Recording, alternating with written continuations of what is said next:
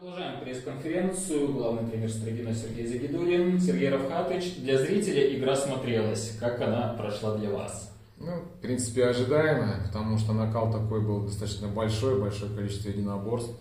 Это все, в принципе, ожидаемо. Что касается конечного результата, ну, наверное, наверное отдать должное сопернику, что смогли э, забить гол. Вот, но без комплиментов, наверное, наверное все-таки ничья закономерный результат, потому что и пенальти был в наши ворота, и мы удачно забили. И, конечно, было бы, наверное, может быть, не совсем по-спортивному, если бы Сокол уехал сегодня без очков. Поэтому считаю, что ничья закономерный результат. Обычно в таких матчах, когда ставки очень высоки, команды действуют достаточно осторожно. Но сегодняшний матч это исключение, потому что что первый, что второй тайм обе команды начинали очень бодро и создавали моменты ну, чуть ли не с первых же секунд. С чем это можно связать? Ну, мотивация запредельная, плюс это прямой конкурент и, и медали, ну, то есть, как бы это медальные матчи.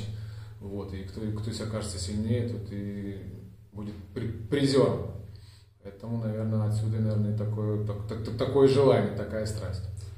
Ну, сегодня вернулось полноценно вот это ваше атакующее трио, которое наводило грозу там в начале весны. Вот, но почему-то вот как раз после появления на поле Камлашева как-то команда стала выглядеть послабее немного в атаке. Это то, что растерялись какие-то связи, или может то, что Камлашев еще не совсем в форме, ну или Сокол уже не особо давал возможности проявить себя, потому что пошли отыгрываться на практически всей команды. Ну, точно здесь не Камлашева вина, что Сокол стал чаще угрожать э, подходы к нам, к нашим воротам, точно.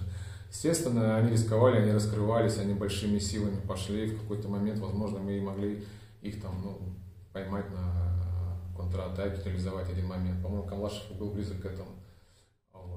Забей он, наверное, возможно, было бы все по-другому. Но опять же, это футбол, и сейчас наглядываться назад, ну, как бы не имеет смысла, наверное.